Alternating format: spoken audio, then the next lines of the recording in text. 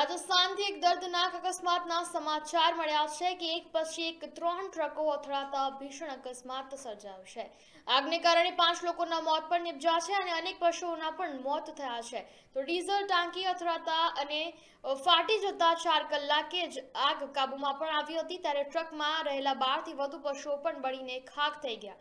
Jaipur Ajmer highway પર રૂડુ પાસે સવારે પાંચ અને ત્રીસ વાગ્યે આ આગ લાગવાની ઘટના ઘટી હતી, જેમાં એક પછી એક ત્રણ ટ્રકો અથડાતા ભીષણ અકસ્માત સર્જાયો, જેમાં આગને કારણે પાંચ લોકોના મોત નિપજ્યા છે. આ સાથે અનેક પશુઓના પણ મોત નિપજ્યા છે, જેમાં ડીઝલ ટાંકી અથડાતા અને ફાટી જતા ચાર કલાકે આગ પર કાબુ તો મેળવાયો, પરંતુ ટ્રકમાં રહેલા બારથી વધુ પશુઓ પણ બળીને ખાક થઈ ગયા.